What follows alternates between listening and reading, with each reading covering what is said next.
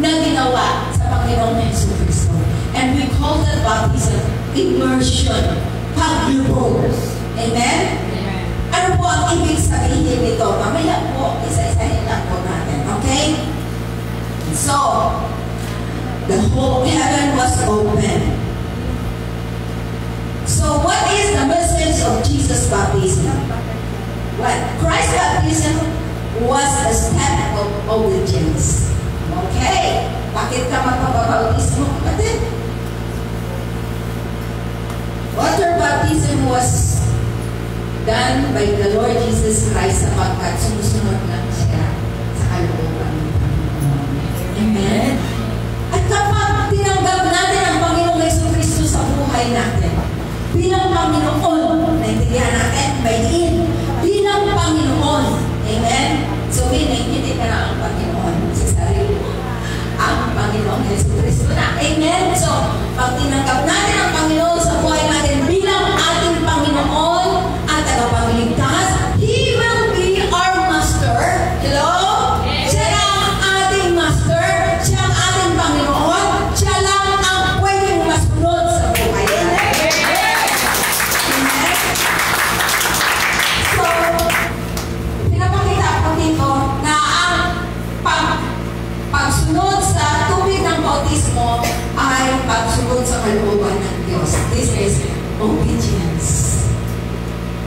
The power of obedience. Tandaan natin na ang bautismo ay hindi gaya-gaya. Dahil magpabautismo ang kapitbahay mo, magpabautismo ka rin. Magpabautismo ang mister, magpabautismo ka rin. Bautismo si Mrs., bautismo ka rin. Hindi. This is a personal decision. Kaya, kailangan natin maintindihan because this is personal decision that your life is really committed the Lord Jesus Christ. Amen. Okay, nasya lang ang masunod. Amen? Okay. So,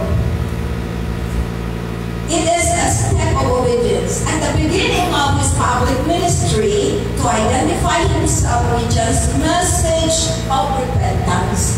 Di ba? Na nagsisisigaw sa ilang ang ating mahal na Juan Bautista na sinasabi, magsipagsisi na tayo, okay? Magsipagsisi at magpabautismo sapagkat darating na ang mas nakakaingit sa Kanya. Amen?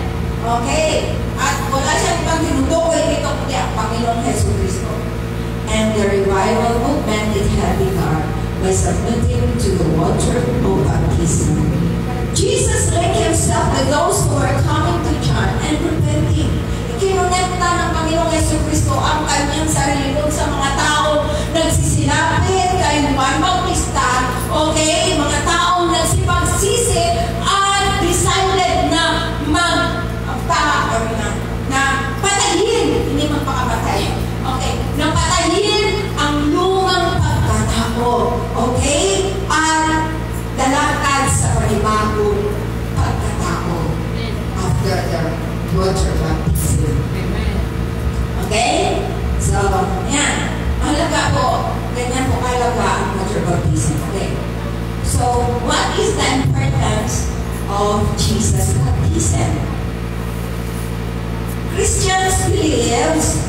Jesus was baptized so that he could become like one of us.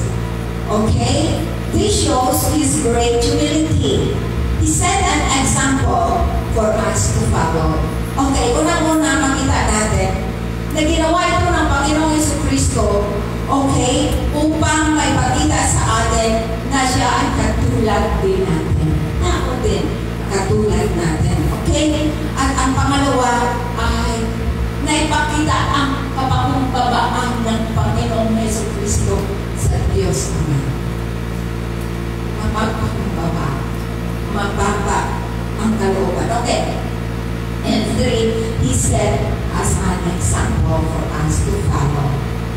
Okay, kung ang Panginoong Yesu Kristo ang po, okay, nang naglingkod siya sa ministeryo ng ilang taon. Nagpapautismo. Kaya na maraming mga tao, maraming tao tumatanggap sa Panginoong Yesu Kristo, but they really don't want to be baptized in water. So, anong nakamahal?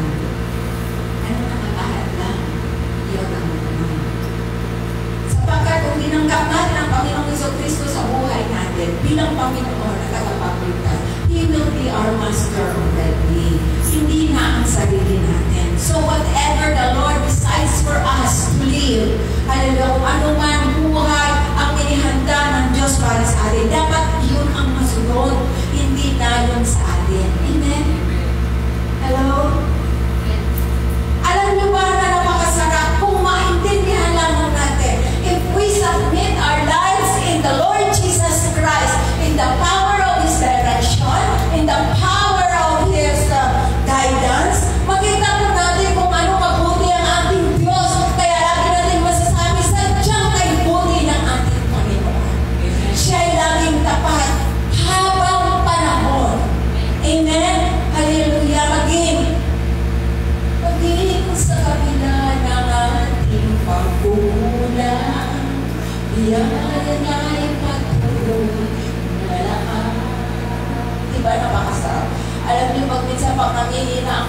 ako, talaga, talaga pinapalakas ang aking sarili sa pagpupuri habang ako nagtatrabaho, habang ako, kahit anong ginagawa ko, talagang puno-puno ng pagpupuri ang ating isip, ang aking puso, ang aking langit. Hello?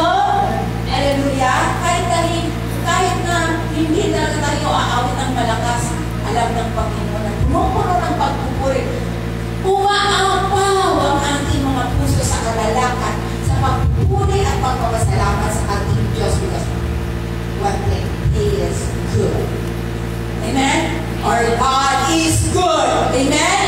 Amen. Sabi ng iba, God is good! Sasagot nila, all the time! Pero meron naman uso, God is good! Grabe! Matindi! Amen? Hallelujah! Hindi lang sa lahat ng oras mabuti ang Diyos natin, kundi sa lahat ng pagkakataon, our God is good, matindi. Amen? Why?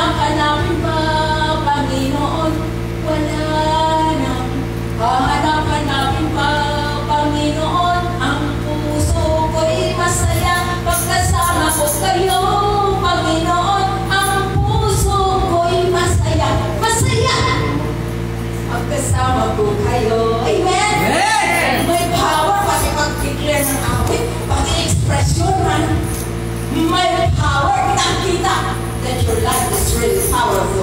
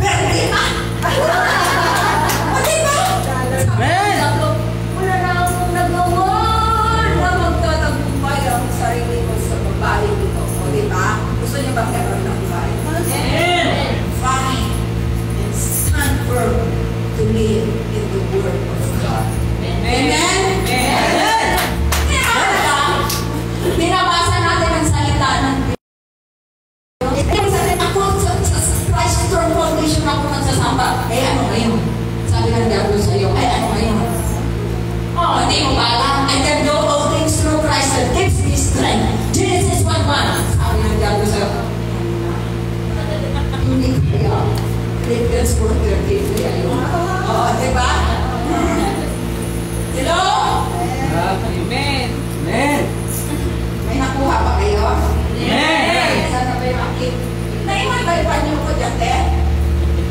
Hello. Tandaan natin na ang Diablo, ay hindi ka. Tandaan natin na ang Diablo, ang ginamit niya pangtukso sa Panginoong Heso Kristo ay salita din ng Diyos. Kaya dapat nag-aaral tayo ng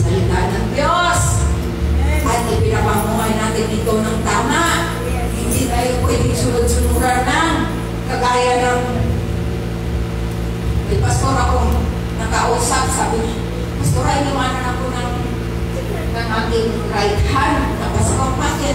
Sinabihan niya ako ng, kinausap daw siya ng Panginoon. Magsisi daw ako. Bakit kailangan magsisi? Ikaw ang may pastor, ano may kasalanan ka ba? Ikaw, tinatanong ko nga po, Pastor, kung ano ang kasalanan ko at bakit ako pinapasisi ng banal na Espiritu Santo. Yun daw sabi sa kanya, tatlong beses. Self-study is dangerous.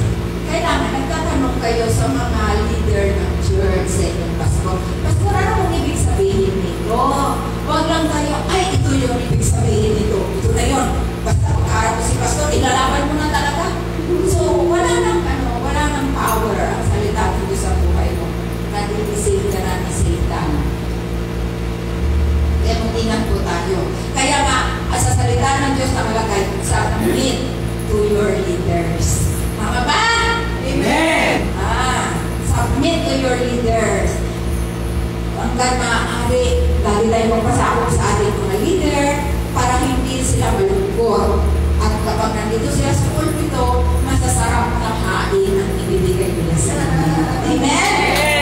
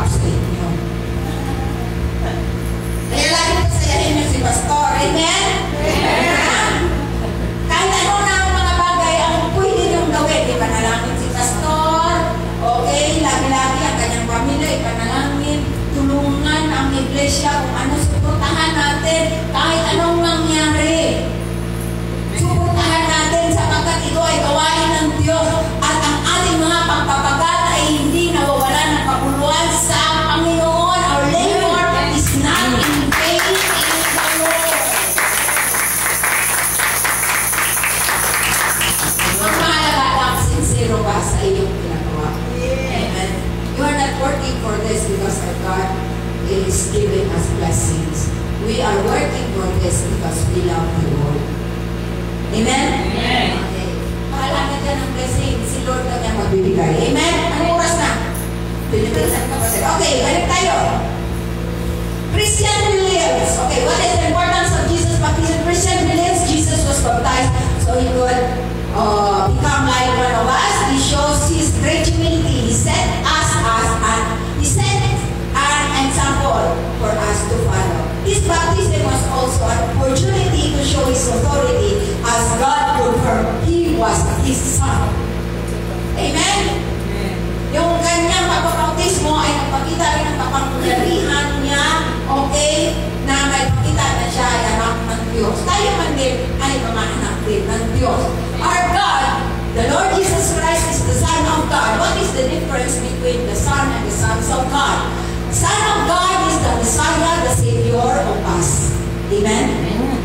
And sons of God, sons of God, like us, are the one who follow Jesus. Okay, so you are sons of God. Amen? Amen. Okay. And so, about Jesus baptism, what is the difference between Jesus baptism? Ito lang talaga ang binigyan ko ng tingin. Okay. What is the difference between Jesus baptism and our baptism? May pagkakaiba ba? Sinong sasagot?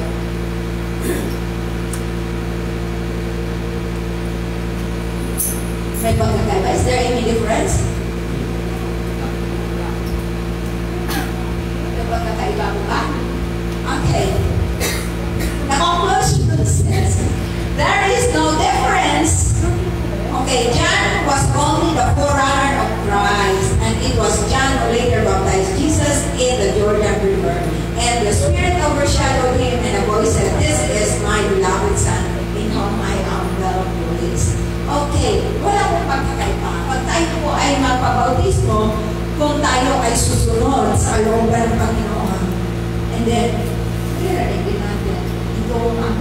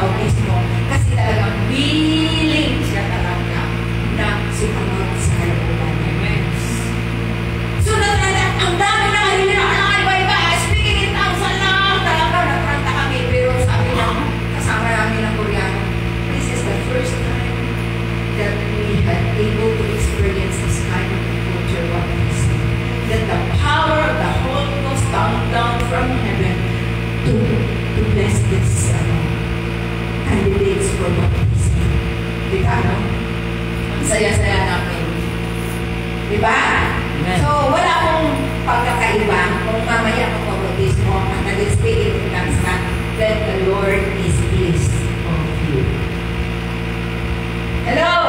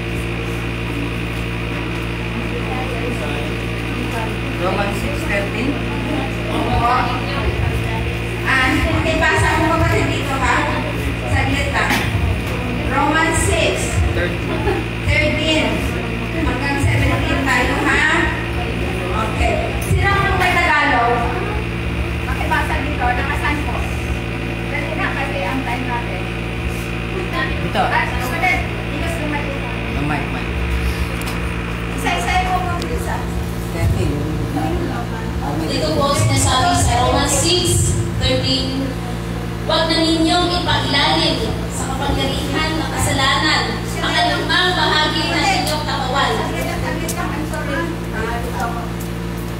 Chapter 3, ay, chapter 6, verse 3 to 13. Okay. Three to thirteen. Hindi ba ninyo alam? Sinasabi dito sa 6.13, Hindi ba ninyo alam na tayong lahat ng nabautismuhan kay Kristo, Jesus ay nabautismuhan sa kanyang kamatayan? Okay, stop. Ano sinasabi dito? Pag tayo ay nabautismuhan na tayo ay nabautismuhan sa kamatayan ni Kristo. That is why na tuloy na tuloy na. That is why na kapag ibig sabihin pag nilubog ka sa tubig, okay, ibig sabihin nili, lilibing ang lumang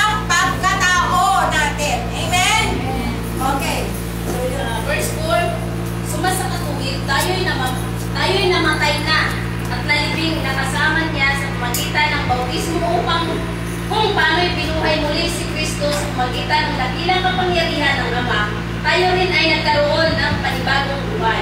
Amen. So, Amen. nilibig na natin ang luma ng pagkatao. Pagkaalam po natin ay ang bagong pagkatao na kung saan ay nabubuhay na tayo ayon sa direksyon ng Panginoon Yesu natin. We are 2 Corinthians 5.17 Diba? Pagkamat ang sino mang na kay Kristo, siya ay bago ng nilalagtagan. Amen. Kaya kapag napapabalik ka doon sa lumang pagkatao, sasabihin mo, I live in sick as I live as a victorious Christian. 2 Corinthians 5.17 Ako ay bago ng nilalagtagan. Kaya ikaw, tumayo-tayo ka sa akin ha, alak ng espiritu ng alak, espiritu ng pagmumura, espiritu ng pagsusugal, espiritu ng katamaran sa pagbabasa ng salita. Lahat ng salungan sa kalooban ng Diyos. Rebuke mo yan because you are a new creation. Bagong buhay na ang nilakaran. Ano tandaan natin, hindi basta-basta ang ginawa ng Panginoong Yesu Cristo sa cross ng Calvario para magkaroon ka ng isang buhay na ganang at kasisiyan. Amen. Dito sa 5 verse 5, sapagkat kung kasama natin si Kristo sa isang kamatayang katulad ng kanyang kamatayan, tiyak na tayo ay makakasama rin niya sa muling pagkabuhay na katulad ng kanyang muling pagkabuhay. Amen! Okay, naintindihan po natin yan. Kung tayo ay namatay sa luma ng pagkatao, pagkabuhay ng Panginoong Yesu Cristo. Ano pa ang muling niyang pagkabuhay? He is a victorious Son of God. Amen. Dapat ganun din tayo. Amen? Maigli lang ang panahon ko. Sige, tuloy. 6. Alam natin na ang dati nating pagkatao ay naipako na sa krus kasama niya upang mamatay ang ating makasalanang pagkatao at nang hindi na tayo maalipin ng maalipin pa ng kasalanan. Amen. Okay, ulit tayo mga kapatid. Sabahan natin yan. Ang bautismo natin ay commitment natin sa Diyos. Hello? We understand why we did the wa- the water baptism. Kasi gusto mong maging bagong nilalagay. Ayaw mo na ng lumang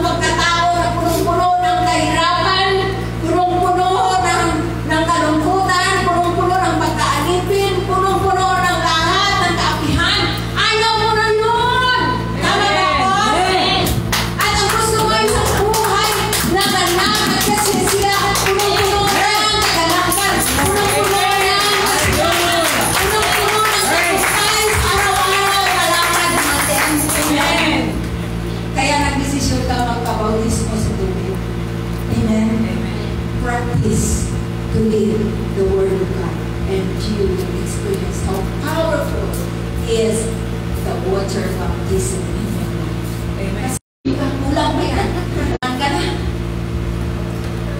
Bautismado na ako. Kita na, pre! Tagay!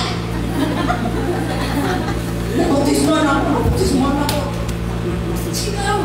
Wala si pastor! Alalahanin mo ang commitment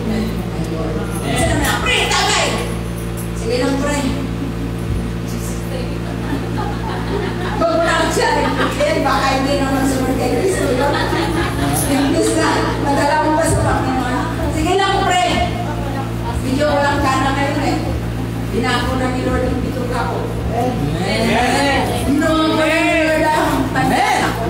Amen. Ganon yun. Pagkating-tatilo ka ngayon ako, sarap talagang maglakas na kasal. Ang baraha, ano yan? Yung ano ba yan? Ano ang tawag yan? Sa majong. Ang sarap. Bagong